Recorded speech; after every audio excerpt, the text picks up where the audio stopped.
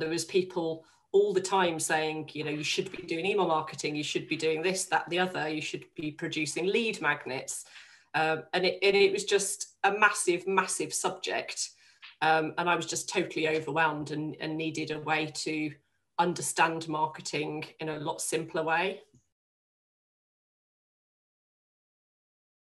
So upon joining the club and registering on the portal, there was just loads and loads of videos and content and really useful information. And initially it was a bit like, wow, there's all this content and where do, where do I even sort of start with it? But as soon as I realized that it was there for me to dip into when I needed to, in my own time, when it worked for me, rather than having to digest it all at once, um, then it just made life so much easier. And now I sort of dip in and out depending on what I'm working on as to the support that I need for that particular topic.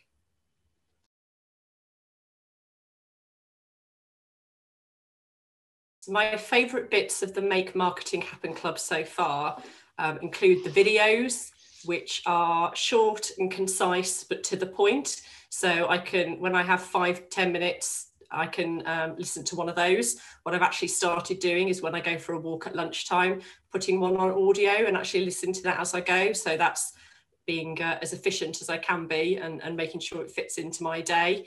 Um, I also find the structure that is provided from month to month. I know what's coming and I can plan that out in my diary. I find that really, really helpful and the support uh, from Cheryl and Bryony, but also from everybody that's in the club um, is just absolutely amazing. And, you know, having only been in the club for two months, it's generated a real community feel and everybody's so supportive and um, that's just so, so important.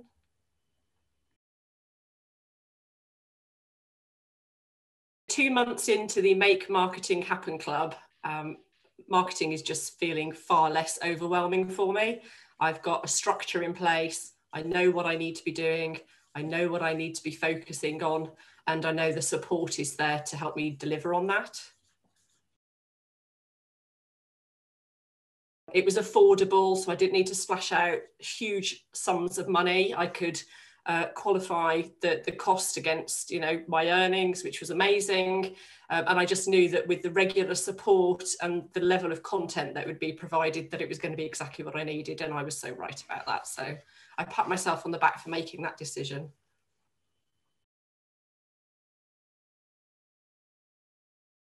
If I could sum up the Make Marketing Happen Club in three words, it would be inspiring, supportive, and motivational.